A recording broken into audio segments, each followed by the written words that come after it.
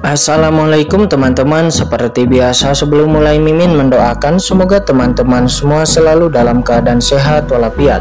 Oke kali ini kita akan melanjutkan Navial Master versi novel. Bagian 1365 Bagi yang baru bergabung selamat bergabung. Dan bagi yang belum subscribe Subscribe dulu lah agar Mimin tambah semangat lagi nih bikin videonya. Oke kalau sudah kita langsung masuk ke isi ceritanya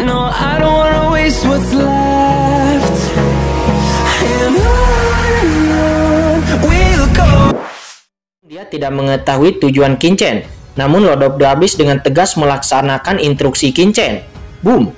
The Abyss langsung melawan dengan putus asa dan energi iblis yang menakutkan melonjak ke langit. Apakah orang ini tidak sayang kepada hidupnya? Kata Regibis Laut, dia mengerutkan kening. Orang di depannya ini jelas tidak sekuat dirinya. Tetapi orang ini sangat gila, apakah dia tidak takut mati?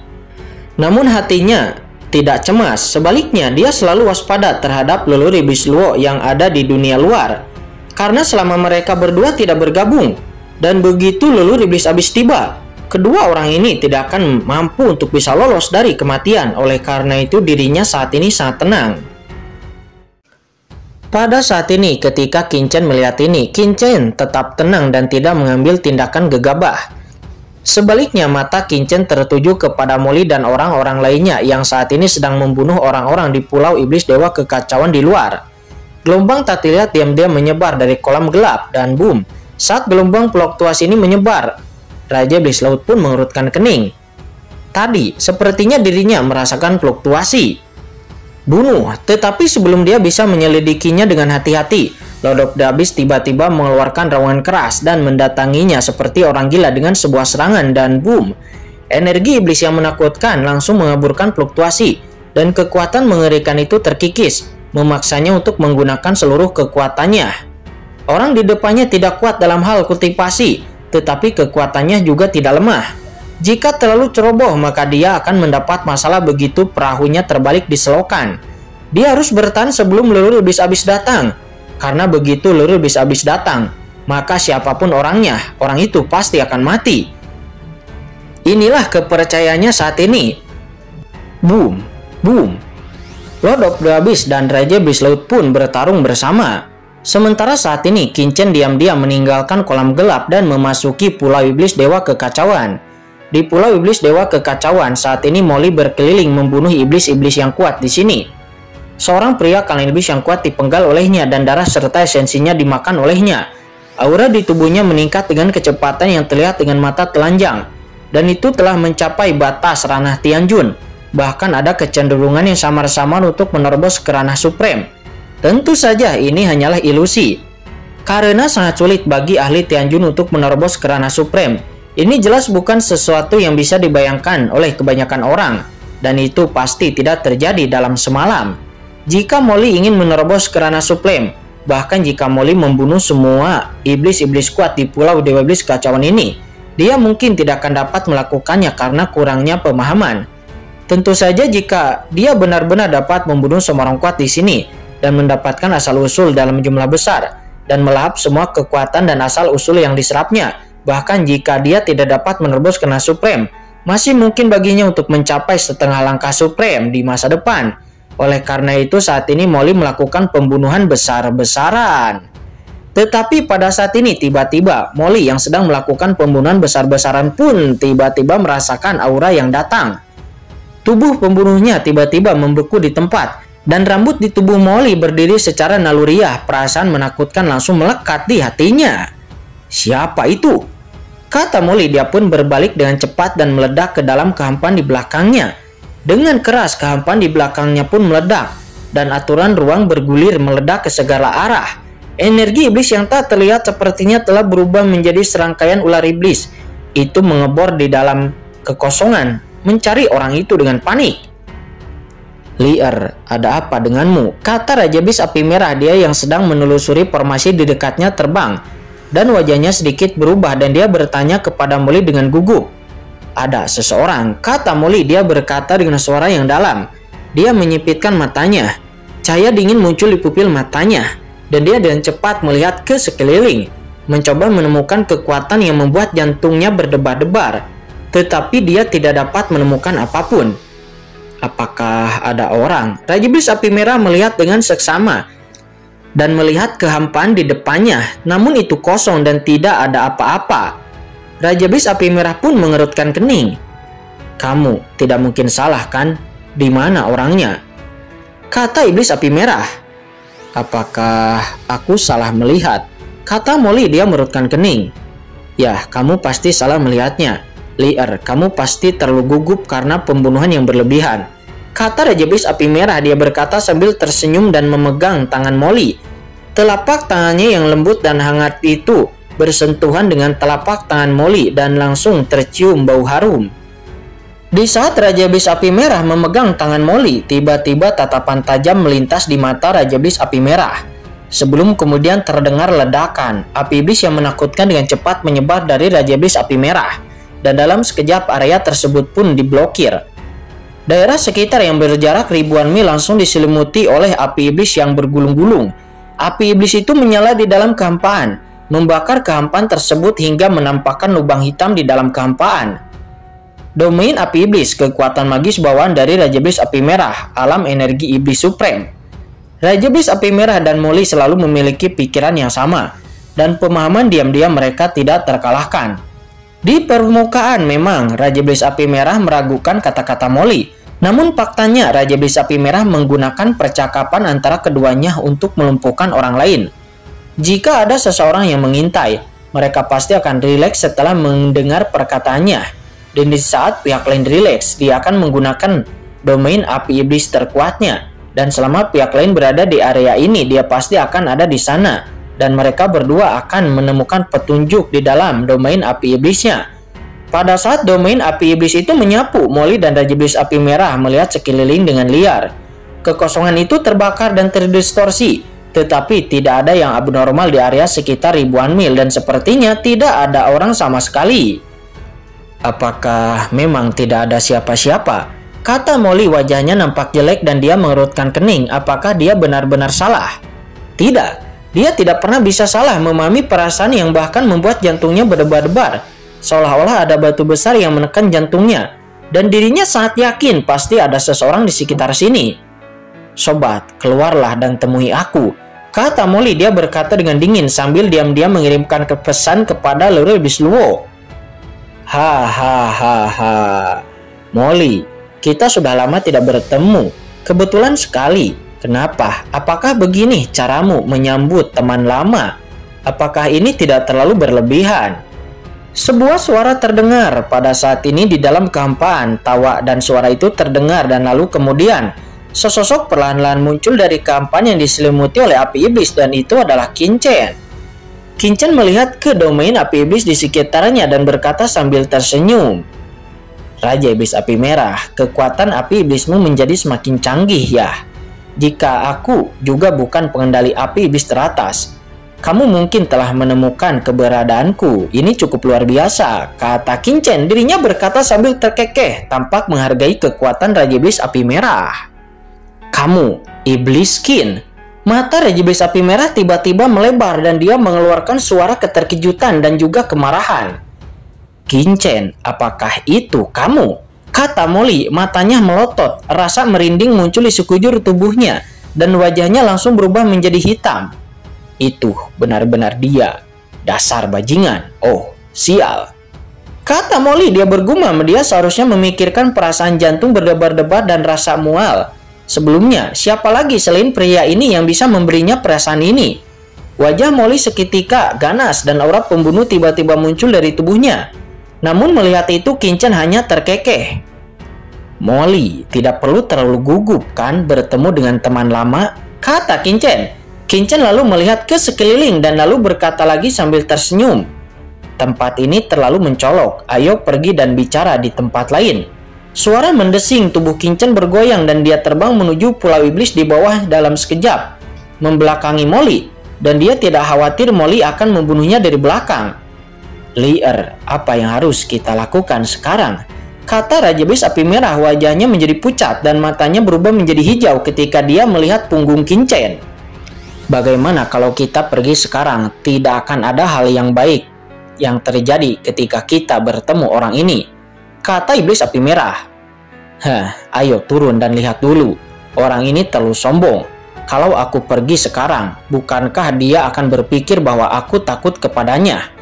Kata Molly. Dia melihat punggung Kincen yang tidak terlindungi. Dia gemetar karena marah dan matanya dingin. Tindakan Kincen ini tidak terlalu menyakitkan tetapi sangat menghina. Apakah tidak apa-apa? Raja Iblis Api Merah mengangguk dan berkata lagi dengan suara yang dingin. Kita telah berada di dunia iblis selama bertahun-tahun dan telah membuat terobosan luar biasa dalam kultivasi kita. Bahkan yang maha tinggi pun kita tidak takut. Mari kita lihat apa yang akan dilakukan oleh anak ini. Kata Raja Iblis Api Merah, dia akhirnya menggeretakkan gigi. Jika mereka hanya berbalik dan pergi, bagi orang luar itu akan terlihat jelas bahwa mereka takut kepada Kincen. Kalaupun mereka kalah, wajah mereka tidak boleh hilang, melesat Kedua sosok itu bergoyang dan lalu mengikuti sosok Kincen ke tempat terpencil di Pulau Iblis Dewa Kekacauan. Kincen, beraninya kamu, anggota klanmu menerobos wilayah iblis dan mencari kematian. Begitu dia muncul, Raja Iblis Api Merah mendengus dan berkata dengan nada yang sangat dingin. Dengan kata lain, Kincen harus ditekan. Namun mendengar itu, Kincen tidak berbicara sama sekali. Kincen melihat sekeliling dan dengan cepat membuat gerakan tangan dengan kedua tangannya, berdengung saya kemudian melihat gelombang energi iblis tak kasat mata langsung menyebar. Itu seketika menutupi dunia ini dan memutuskan atmosfer di sini. Tidak dapat dideteksi oleh siapa pun.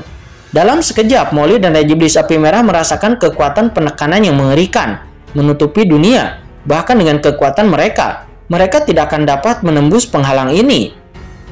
Apa yang kamu lakukan? Kata Raja Iblis Api Merah.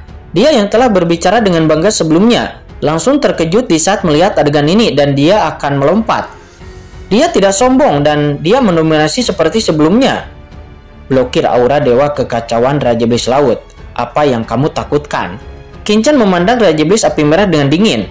Raja Iblis Api Merah, aku ingat bahwa di alam rahasia Iblis Surgawi di benua Tianwu, kamu adalah Raja Iblis terkemuka yang berani melawan dan membunuh. Mengapa kamu menjadi semakin pemalu setelah kamu datang ke surga dan membentuk kembali tubuhmu?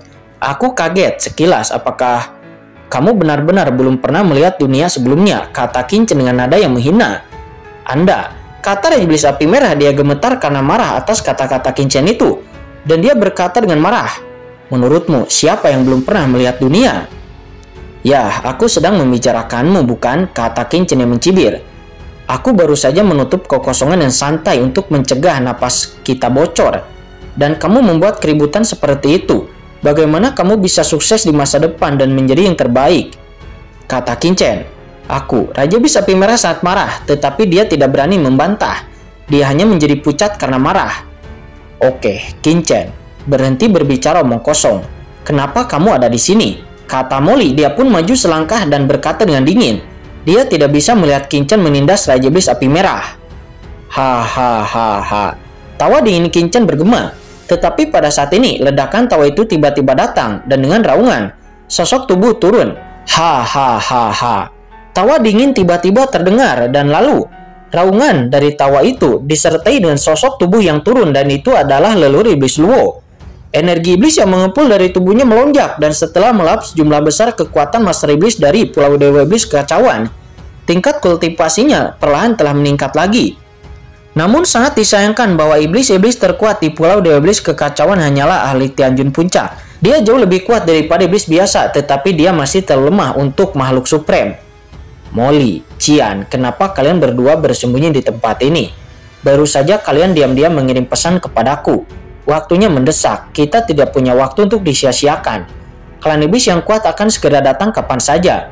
Masih ada iblis di Pulau Dewa Iblis Kekacauan ini. Ada beberapa sisa klan iblis, bunuh mereka secara langsung. Ini juga dapat meningkatkan kultivasi Anda secara signifikan. Kata Lord Iblis Luo, dia berkata dengan suara yang keras, dia berjalan seperti dewa iblis. Setelah memasuki formasi isolasi yang ditetapkan oleh Kinchan sebelumnya, alisnya tiba-tiba berkerut. Hah, formasi isolasi yang sangat indah. Itu kamu. Kata Iblis Luo, matanya langsung tertuju kepada Kinchan dan dia tiba-tiba terkejut. Ya, Junior telah bertemu dengan leluhur Iblis Luwo. Di sini saya ingin mengucapkan selamat kepada leluhur senior Iblis Luwo karena telah kembali ke ranah supreme. Sungguh suatu kebahagiaan bisa memberi selamat kepada Anda, kata Kincen. Ketika Kincen melihat leluhur iblis Luo muncul, Kincen segera tersenyum dan berkata kepada leluhur iblis Luo sambil melengkungkan tangannya. Nah, kenapa kamu ada di sini? Kata leluhur iblis Luo ketika leluhur iblis Luo melihat Kincen wajahnya tiba-tiba berubah menjadi hijau. Dia juga menderita karena Kincen waktu itu. Anak ini hanyalah bajingan. Di sungai kekacauan harta karun di alam Dewa Pientin, dia dan Kincen bergabung untuk menekan leluhur suci Shumadara bersama dengan leluhur naga Hong Huang. Namun akibatnya, leluhur suci Shumadara yang tertindas itu segera dibawa pergi oleh Kincen. Selain itu, sumber kekacauan juga ada di sungai kekacauan itu semua diambil oleh Kincen. Mereka sudah lama bekerja keras, namun dirinya hanya meminum sedikit minyak dan air, sementara Kincen itu sudah memakan semua dagingnya. Bagaimana mungkin dia tidak marah? Dan ketika melihat Kincen sekarang, leluhur iblis Luo tiba-tiba memikirkan apa yang terjadi sebelumnya dan wajahnya menjadi jelek. Dihadapkan dengan nada yang tidak baik dari leluhur iblis Luo, Chen tidak menganggapnya serius, dia hanya tersenyum. Junior ini ada di sini untuk membantu leluhur iblis Luo, kata Chen. Membantuku? Nah, bagaimana kamu bisa begitu baik? Hah, kata leluhur iblis Luo, dia menus dingin. Orang ini telat baik, tetapi sebenarnya hatinya sangat buruk. Benar, Junior memang ada di sini untuk membantu Leroy Bisluo Senior. Meskipun Senior telah menerobos ke ranah Supreme, namun jalan Senior masih panjang sebelum Senior dapat memulihkan kultivasinya. Namun, jika Senior ingin memulihkan kultivasi sepenuhnya, Senior harus menyerap banyak asal. Dan Junior bisa membantu Senior, kata Kincen berkata dengan tulus. Hah, aku harus percaya kepadamu. Hantu macam apa kamu? Bisakah kamu membantuku? Kata Lord Bisluo, dia memutar matanya setelah mendengar ini. Jika dia tidak pernah bekerja sama dengan Kincen, maka dia mungkin akan percaya, tetapi dia pernah mengalami pengalaman yang buruk dengan bekerja sama dengan Kincen. Leluri Bisluo, kamu bercanda. Junior ini memang ada di sini untuk membantumu, kata Kincen dia nampak serius. Melihat Kincen terus mengatakan ini, Molly buru-buru mengambil langkah ke depan dan berkata dengan suara yang dalam. Leluri Bisluo, jangan tertipu oleh anak ini. Orang ini sangat berbahaya bagaimana dia bisa datang dan membantu kita. Memikirkan fakta bahwa Lulu Bisluo ditipu oleh Kincen di alam Dewa Pientin waktu itu, Molly buru-buru mengingatkan bahwa dia sangat takut bahwa Lulu Bisluo akan tertipu lagi oleh Kincen. Hahaha, jangan khawatir, aku pintar sekali. Bagaimana mungkin aku bisa ditipu oleh anak ini? Kamu terlalu mengkhawatirkanku. Kata Lulu Bisluo, dia berkata dengan bangga. Mendengar itu, Molly hanya terdiam. Lalu kemudian Molly mendengar bahwa Luri Bisluo mencibir dan berkata lagi, Datang untuk membantuku, hah, hanya kamu. Tawa Luri Bisluo sangat arogan setelah kultivasinya dikembalikan ke tingkat supreme. Dia sekarang tidak takut dan lalu mencibir. Bahkan orang tua di belakangmu, naga tua itu tidak akan berani mengatakan bahwa dia dapat membantuku. Ngomong-ngomong ya, di mana naga tua itu? Apakah dia masih bersamamu? Kenapa dia tidak keluar? Kata Lur Bisluo, seraya menatap Kincen dan mencibir. Melihat Lur Bisluo memperlakukan Kincen seperti ini, Molly pun menghela napas lega. Dia takutnya Lur Bisluo akan ditipu oleh Kincen. Namun kemudian Raja Bis Api Merah dan Molly langsung berpikir bahwa mungkin Kincen lah yang sebelumnya telah menjebak mereka. Lalu, siapa Master Iblis yang sedang bertarung melawan Raja Iblis Laut? Apakah itu juga adalah anak buah Kincen? Kata Molly. Mereka pun kemudian langsung yakin bahwa Kincen ini telah menjebak mereka. Memikirkan di saat mereka disalahkan oleh Kincen dan mereka bertarung melawan Raja Iblis Laut, sementara Kincen dia berpesta di kolam gelap. Dalam sekejap, aura pembunuh yang mengerikan yang tak ada habisnya keluar dari tubuh Molly dan mentalitasnya akan meledak. Luli Bisluo saat ini juga tercengang apakah sebenarnya orang yang menjebak mereka sebelumnya itu adalah Kincen, anak di depannya.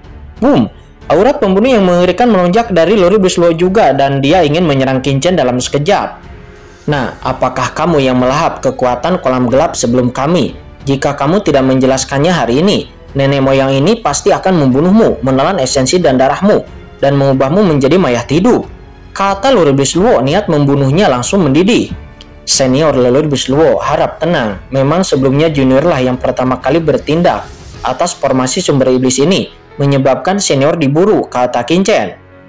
Tuan Elbiswo, jangan dengarkan tipu muslihat anak ini. Anak ini pasti akan menyakalnya dan juga...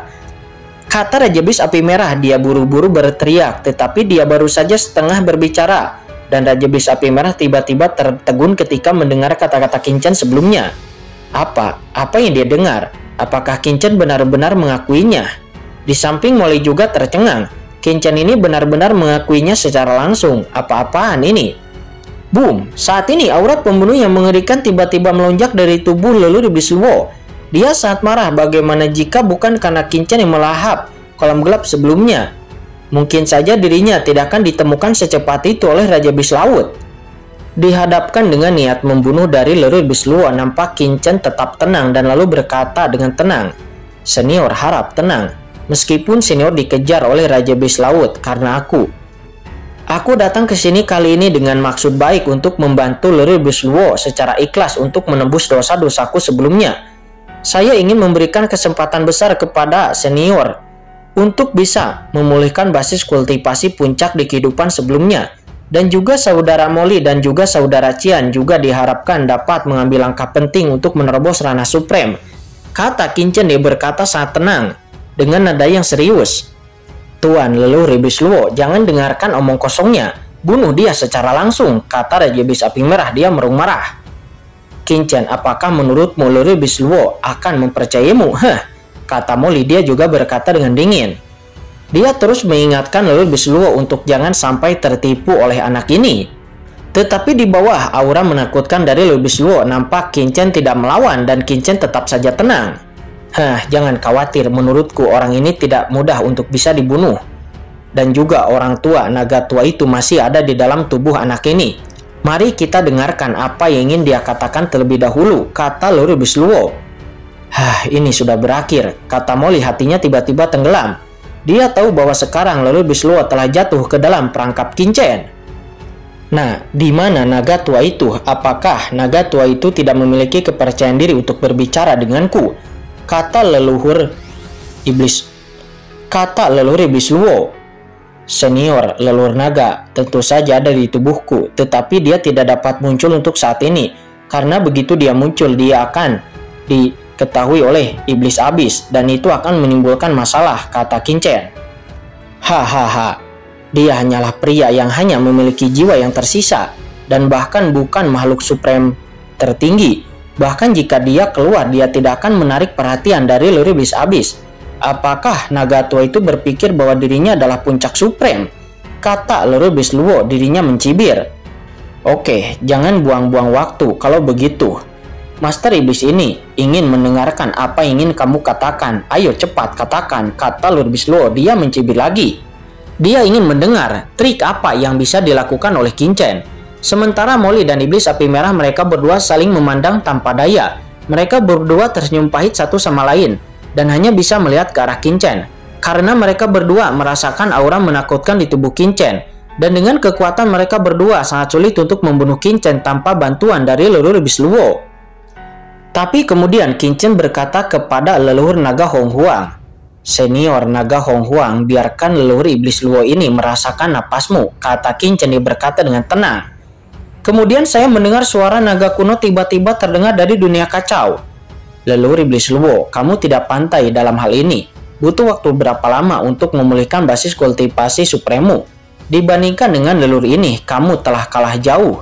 Kata leluhur naga Hong Huang, seketika setelah itu aura menakutkan tiba-tiba keluar dari tubuh Kincen.